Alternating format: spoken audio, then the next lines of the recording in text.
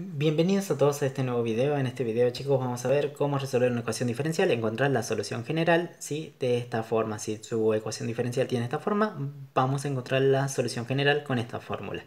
Bien, la idea es encontrar la derivada y la función original acompañadas de dos funciones, ¿sí? tanto en la parte del coeficiente y tanto en la parte de la igualdad. En este caso tenemos nuestra ecuación diferencial.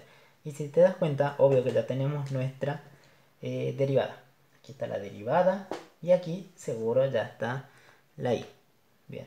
Ahora la idea es acomodarlo de esta forma. Entonces yo digo este término, que es el término donde está la función original, pasarlo para allá. Entonces quedaría i' menos todo esto, que sería la tangente de x por i. Y sería todo, y el seno que quede para allá, ¿sí? Para que sea la otra función, que sea q. Seno de x. Bien identifiquemos. Entonces tenemos la derivada, la función original, ya la tenemos. ¿Y esto qué sería? Esto es P. ¿Y esto qué es? Q. ¿Sí? QX. PX. Bien, y ya tenemos. Tenemos esta forma, podemos resolverla de la siguiente manera, encontrando la solución general. Bien, vamos a empezar. Entonces sería, la I, para obtener una I general, sería E a la menos la integral de P de X, que sería P de X, sería todo esto menos la tangente de x por el diferencial de la x. ¿Sí? Porque ahora está con respecto a la x. Todo multiplicado por quién? Por la integral de e integral de p de x, que es la misma, que sería menos la tangente de x por el diferencial de x. Por q de x. q es seno. Entonces acá va el seno de x por el diferencial de esa función. ¿Sí? Entonces sería, si esto es seno de x, x sería diferencial de x, más la letra c, que es la constante de quién? De nuestra solución general. Bien, ahí está. Menos por menos se hace más, lo podemos sacar tranquilamente.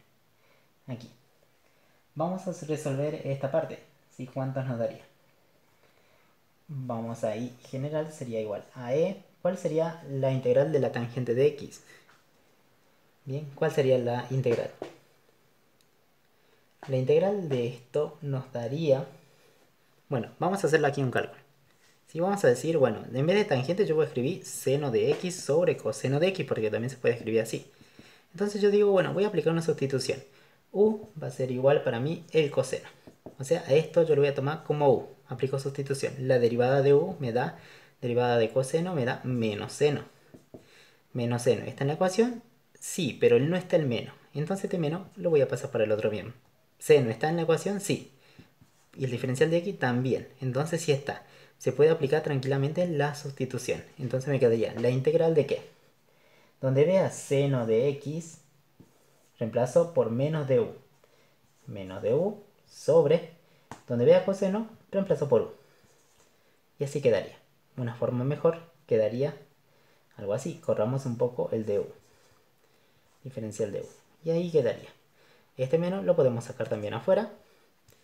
Y queda la integral de menos la integral de 1 sobre u. Y eso sería igual a qué? A menos el logaritmo, este sería el logaritmo de u. ¿Sí? Bien, pero si vos lo querés seguir resolviendo, tenés que seguir resolviendo, ¿no? Porque u, ¿cuánto valía originalmente? Coseno de x. Entonces aquí tenés la integral. Esta integral la vamos a reemplazar aquí. ¿Sí? Porque esto es lo mismo de tangente, así que sería menos el logaritmo del valor absoluto de coseno de x. Ahí está. Bien, y lo hicimos por sustitución nomás, simple, o lo buscan en la tablita también. Sí, debe estar. Bien, ahora lo que vamos a hacer, aquí vamos a decir la integral de quién? De e. Y acá dice menos, este menos lo podemos sacar afuera, quedaría aquí menos. Y la integral de la tangente de x, ¿cuánto me da? Me daría lo mismo, que no? Parecido a esto. Sería logaritmo del coseno de x. Ahí está. Lo pusimos. Esto sería lo mismo que esto, ¿por qué no? Fíjate, lo puse ahí.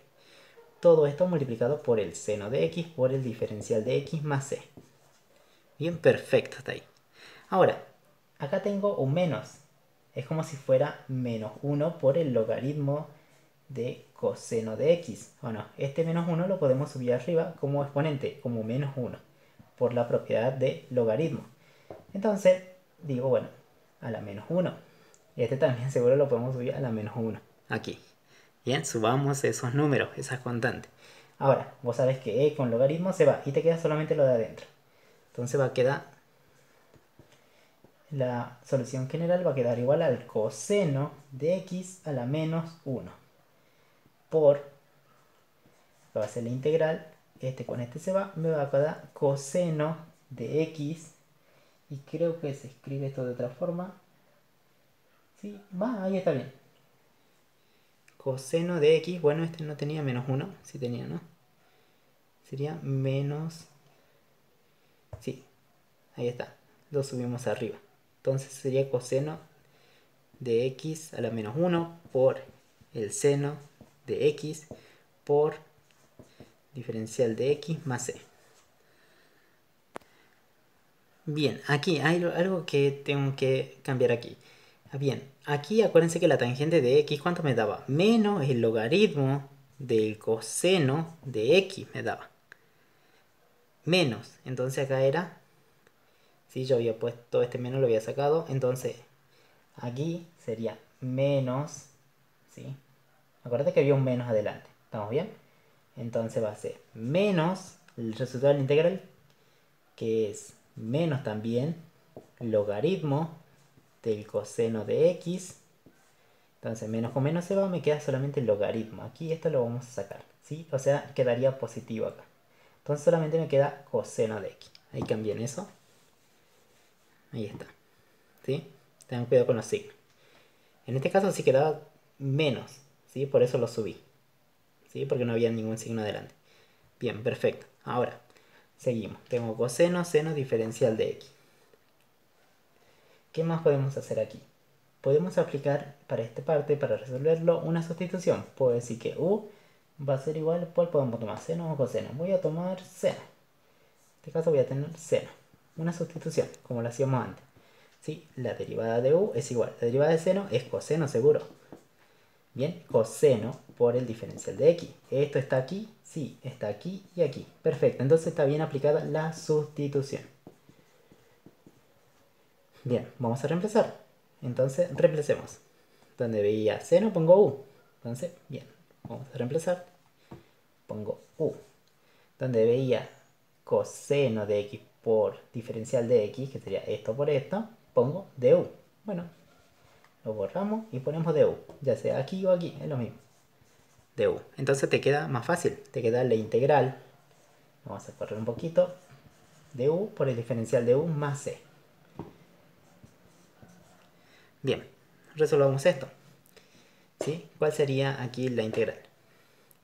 Aquí me queda la solución. Esto acordate que es coseno de menos 1, lo puedo invertir, poner abajo, quedaría coseno de x.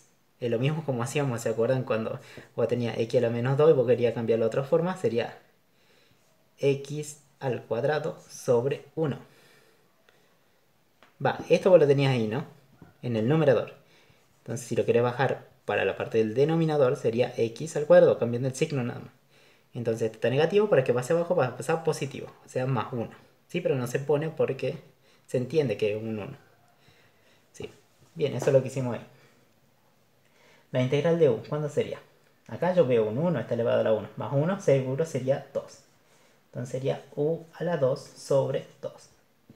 Más c.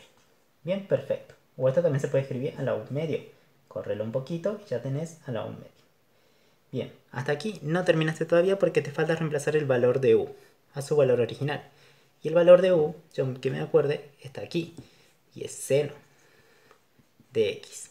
Todo al cuadrado. Bien, perfecto. Hasta ahí ya tenemos nuestra solución general que satisface la ecuación diferencial que tenemos aquí. Bien, también podemos seguir, esto, ¿no? Miren, por ejemplo, podemos distribuir 1 sobre coseno de x para cada uno de los términos. Entonces sería 1 sobre coseno de x por todo esto, seguro me va a dar igual a qué. Multiplicamos los numeradores. 1 por 1 por seno de x al cuadrado me da solamente seno de x al cuadrado sobre lo de abajo, coseno de x por 2. serían 2 coseno de x. ¿Sí? Ahora, eh, en la otra parte nos daría todo esto multiplicado por c, que sería 1 sobre coseno de x por c. Bien, esa sería otra forma. ¿sí? Mira, acá tenés dos senos, en dos senos. ¿sí? Entonces podemos desdoblarlo y poner seno de x por seno de x. ¿sí? Y ahora, si te acordás, esto que es tangente, lo puedes cambiar por tangente también. ¿Vieron? O sea, es lo mismo, digamos, pero bueno, resolviendo un poco más, digamos. Tangente de x. O sea, puede ser igual a esta o puede ser igual a esta. Es lo mismo prácticamente. Bien chicos, con esto termino el video. Espero les haya servido. Suscríbanse a mi canal y nos estamos viendo en otro video.